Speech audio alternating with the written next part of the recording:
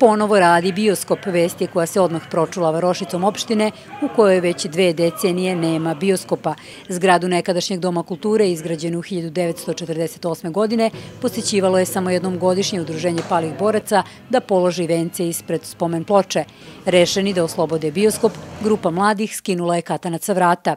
Mi smo ovde par dana ovaj, čistili, bilo je tu poprilično posla, pošto je ova sala praktično postala jedna ostava za gajbe, za metle, džogere i tako te stvari. Omladinci u saradnji sa bibliotekom koja upravlja ovim prostorom popravili su platno, nabavili ozvučenje i projektor, a u planu je kompletna obnova. Sledećim budžetom za sledeću godinu predviđeno je 4 miliona, mada je malo gas i nadu što se to predviđa već 4-5 godina unazad i nikada ništa.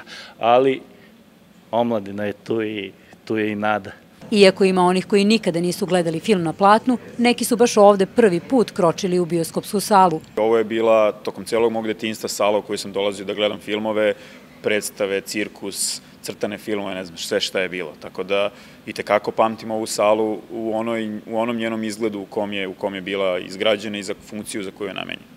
Oslobađanje bioskopa ima i humani karakter, jer će prihod od ulaznice biti uplaćen na račun udruženja roditelja, staratelja i prijatelja dece obolele od raka Čika Boca. Podršku ovoj ideji dali su producenti i ekipa filma Mali Budo.